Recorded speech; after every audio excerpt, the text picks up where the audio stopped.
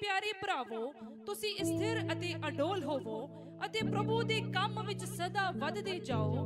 ਕਿਉਂ ਜੋ ਤੁਸੀਂ ਜਾਣਦੇ ਹੋ ਜੋ ਪ੍ਰਭੂ ਵਿੱਚ ਤੁਹਾਡੀ ਮਿਹਨਤ ਥੋਥੀ ਨਹੀਂ ਹੈ। Hallelujah hallelujah hallelujah hallelujah hallelujah hallelujah ਲਿਖਿਆ ਜਿਹੜੀ ਮੌਤ ਏ ਕੌਣ ਕਹਿ ਰਿਹਾ ਏ? ਕਿਹਦੇ ਉੱਤੇ ਇਹ ਭੇਤ ਖੁੱਲਿਆ ਏ? ਇਹ ਖੁਦਾ ਦਾ ਉਹ ਬੰਦਾ ਏ ਜਿਹੜਾ ਪਰਮੇਸ਼ਵਰ ਦਾ ਵਿਰੋਧੀ ਸੀ। ਜਦੋਂ ਉਹਦੇ ਉੱਤੇ ਭੇਤ ਖੁੱਲਿਆ ਏ ਕਿਹਦੇ ਨਾਲੋਂ, ਇਹਨਾਂ 11 ਦੇ ਨਾਲੋਂ ਵੀ ਜ਼ਿਆਦਾ ਖੁਦਾ ਨੇ ਭੇਤ ਆਪਣੇ ਬੰਦੇ ਪਲੂਸ ਦੇ ਉੱਤੇ ਖੋਲੇ ਨੇ।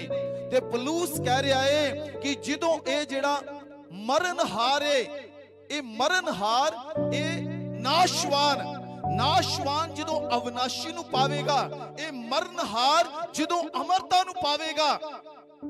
ਤੇ ਕਹਿੰਦਾ ਫਿਰ ਕੀ ਹੋਵੇਗਾ?